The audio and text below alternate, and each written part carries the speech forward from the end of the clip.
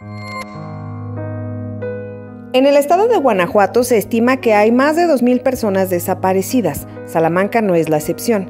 A través de grupos de ayuda y colectivos han comenzado con la búsqueda de hombres y mujeres de los cuales se desconoce su paradero. Salamanca, Unidos Buscando Desaparecidos, es un grupo dirigido a personas que se encuentran en esta situación. Personas que simplemente desaparecieron.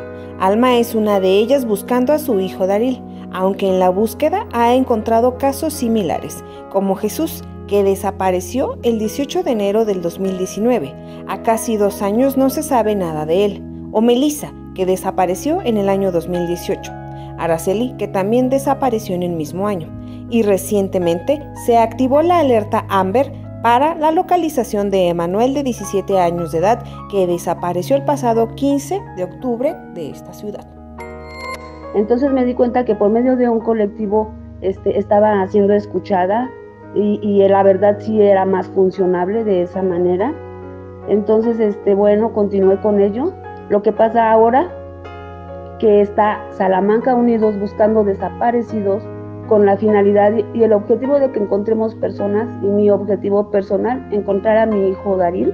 Pero ahora se han unido salmantinos y queremos que nos ayuden aquí, el gobierno de Salamanca, que nos den algo, que tengan una comisión especializada en búsqueda de personas así desaparecidas, como lo hay en Irapuato, como lo hay en Celaya, como hay en otros lados, porque aquí en Salamanca no hay. Este colectivo que va iniciando en Salamanca busca que más personas se unan a él con la finalidad de encontrar a sus desaparecidos, ya que aunque no hay una cifra exacta, hay familias buscando a hijos, hijas, hermanos, padres y madres. Mega Noticias.